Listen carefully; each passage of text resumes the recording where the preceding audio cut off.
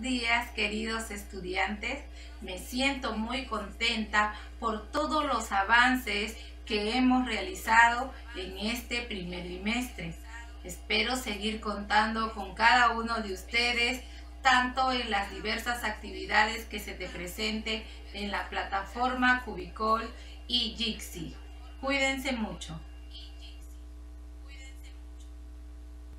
A continuación trabajaremos el tema titulado La morfología.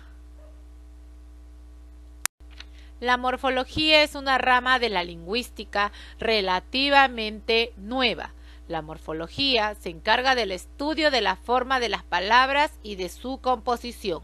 Las palabras es igual a idea, puesto que la lengua constituye un conjunto de signos relacionados entre sí. Detallemos que la palabra morfología fue introducida en el siglo XIX y originalmente trataba simplemente de la forma de las palabras. Sin embargo, en su acepción más moderna, estudia los fenómenos complejos de la forma en que se presentan cada uno de ellos. Su unidad mínima es el morfema. Este morfema va a contener un significado alguno. ¿Qué son los alomorfos? Son las variaciones que se presentan en la realización de los morfemas, es decir, morfos que presentan el mismo morfema. Recordemos aquí que podemos tener morfemas de géneros y morfemas de números. Cuando hablamos de morfema de género, nos referimos si es género femenino o género masculino. En alcaldesa, gallina y sacerdotisa son morfemas de género femenino. Y cuando decimos morfema de número, estamos hablando si es singular o plural. En ajíes y menús, el morfema de número es plural. Recordamos también que estos morfemas nos van a permitir de alguna otra manera identificar cada uno de ellos. Clasificación. Letra A. Por su ubicación. Los morfemas que se añaden a la raíz de una palabra, lexema o base se les llama afijos. Pueden ser de tres tipos. El primero es los prefijos. ¿Qué son los prefijos? Son los afijos que van antes de la raíz o del eczema. Acá tenemos la palabra desterrar. Su prefijo es des. En la palabra infiel, su prefijo es in. Y en la palabra anormal, su prefijo es a. No son los únicos prefijos, existen otros, como mini, multi, pre, dis, in, re, etcétera, los cuales puedes formar otras palabras más. ¿Qué cosas son los infijos?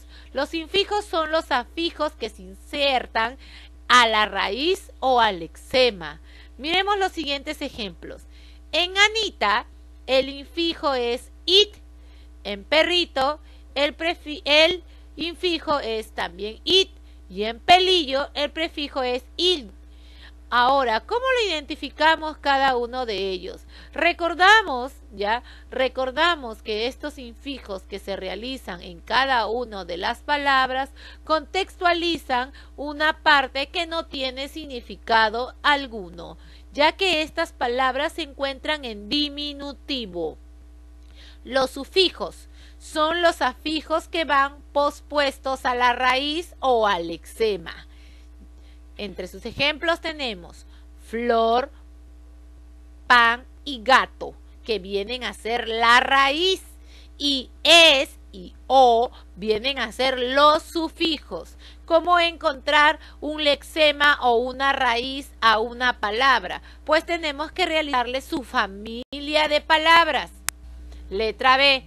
Por su significado. Número 1. Morfema lexical. Lexema o raíz.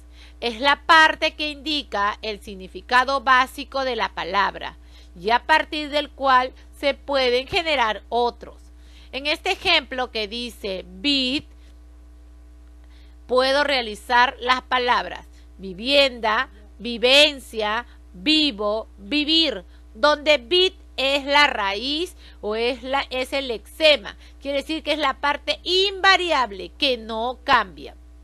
En la palabra mar también es el eczema y se puede trabajar como marinero, marino, maremoto, marea. Entonces quiere decir que una familia de palabras puede determinar los sufijos y a la vez el eczema que se quiere realizar. Número 2. Morfemas derivativos. Son aquellos que se añaden al morfema lexical para formar nuevas palabras. En desunión se ha dado aquí des es un prefijo y unión es una palabra. Al unirlo es desunión es una relación rota. In es el prefijo. Culto es una palabra. Al formarla tiene otro significado. Inculto, persona que no posee conocimientos algunos. En maldad y papelera tenemos resaltado dat y era, que vienen a ser los sufijos. Eso quiere decir que un morfema derivativo puede derivarse y se puede anteponer un prefijo o un sufijo. Número 3. Morfemas léxicos. Son aquellos que expresan accidentes gramaticales. Se dividen en, la primera es simple, expresan un solo significado. En la palabra niñas, niñ, es el eczema o la raíz, la parte invariable que no cambia al realizar la familia de cada una de ellas. En A está, es un morfema de género femenino, mientras que la S es un morfema de número plural, igual que gat. Gat es la raíz o el eczema o es el morfema de género masculino y S es el morfema de número plural. Quiere decir que los morfemas flexivos indican tanto el género como el número. Recordamos que por su significado se clasifican en tres, morfema lexical, morfema derivativo y morfema flexivo. B. Amalgamas. Este tipo de morfemas flexivo solo se presenta en los verbos, indica más de un accidente gramatical. Tenemos acá, canté, duermo y trabajas. Podemos ver aquí que están resaltadas consonantes y vocales, las cuales van a indicar que son acciones que se han realizado para también identificar. Recuerden que puede darse de manera regular o de manera irregular. Letra C, por su grado de independencia. Morfemas libres.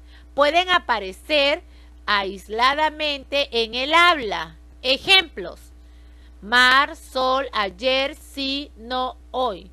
Aquí van a ser palabras que tengan una sola composición. En su mayoría son monosílabos. ¿Ya? Nota, los morfemas libres pueden ser ligados. Atentos aquí, por favor. Mar es un morfema libre, Y también viene a ser una raíz o un lexema. Si a mar le agregamos la palabra, el sufijo ino, nos diría marino. Quiere decir que aquí ya se convierte en un morfema ligado. ¿Ya? Mar sería el lexema, el que lo identifica, y ino sería el sufijo y por lo tanto ahí se hace en forma ligada. Acá tenemos una familia de palabras que ya lo habíamos mencionado anteriormente de mar. Mar viene a ser la parte central, el eczema, la raíz, la que no altera, mientras que su familia de palabras son marítima, marina, marea, marejada, marino, marinero. Tenemos que también saber identificar el sufijo, el que lo pospone. Los morfemas ligados aparecen asociados a otros morfemas también ligados. Ejemplos, podemos tener aquí los prefijos in, des, pre. Por ejemplo, en in podemos decir inculto. En des podemos decir desprecio. Y en pre podemos decir preuniversitario. La idea es que tenemos que saber la diferencia que se da tanto en lo que es un lexema, qué cosa es un prefijo, qué es un infijo, un sufijo, ¿ya? y que nos permita hacer una designación para que cada uno de ellos cumplan con su respectiva función.